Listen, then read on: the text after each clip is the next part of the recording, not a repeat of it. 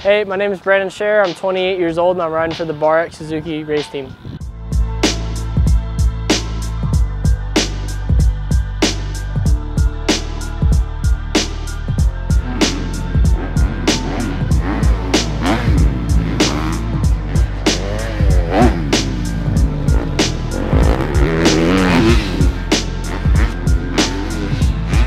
Um, so far it's uh, really good. Um, honestly, I started the season out on my own, just running my own program, and um, these guys brought me aboard for Anaheim 2 and um, Oakland so far, and I've done two rounds with them. So it's uh, it's been good. Um, honestly, Anaheim 2 was, I just got thrown in literally the day before, so hopped on the bike and just kind of hoped for the best there, just, just hoping hoping I would do good. And I made the main and, and got some good laps in and learned a lot. And then uh, finally had some time to get some practice in, and then Oakland was, it was okay. Um, I, obviously not the end result that any of us wanted, but um, we learned a lot and, you know, we get to keep building.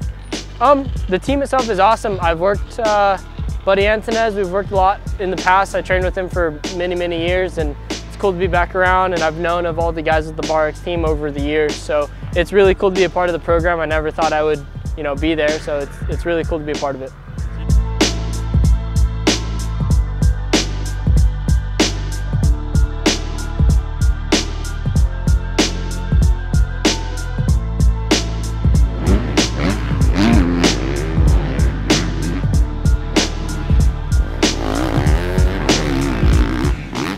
So it was a little bit injuries. Um, I, I, hurt my back in 2019, I think. Might have been the very, very beginning of 2019. So um, I took the whole year 2019 off. I didn't race at all. And then uh, 2020, I was working at South of the Border and um, just, you know, kind of, there was just no racing at the moment. I was just working as a trainer and kind of getting by doing that. So I did that and then moved my way over to Club MX for 21 and 22, and um, that got me back into the the love of racing a little bit. Um, got to be around the pros a little bit more and back around it, and just kind of showed me like, hey, I, I, can still do this, and um, you know, I got a couple years left. I definitely want to go racing, and that's where we are in 23.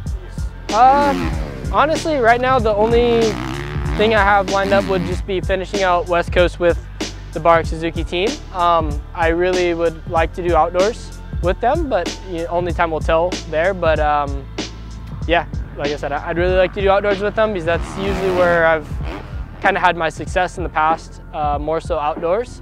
Realistically, I'll, I'll end up doing outdoors for sure at some point or another.